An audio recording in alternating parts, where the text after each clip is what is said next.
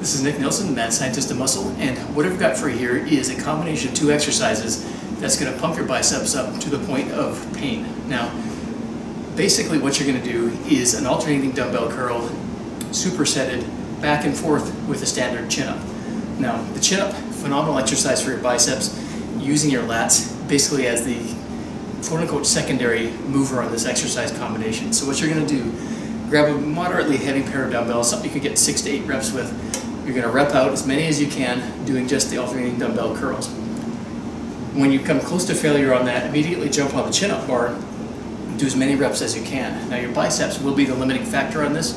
Your lats are what's going to help push your biceps harder. When you've done almost as many reps as you can, almost to failure, drop down, grab the dumbbells, and repeat.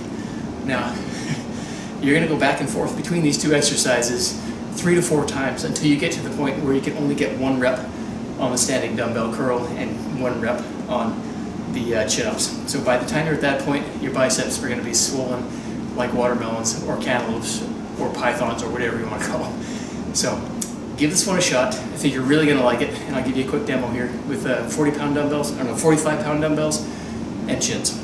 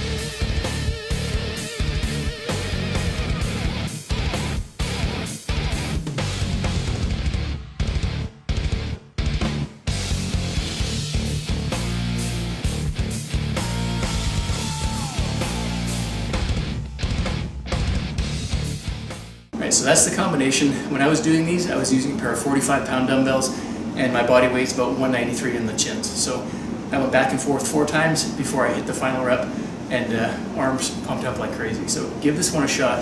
It's going to help you really build your biceps, especially if you've got stubborn biceps that have a hard time growing. This puts massive time under tension and plenty of loading. So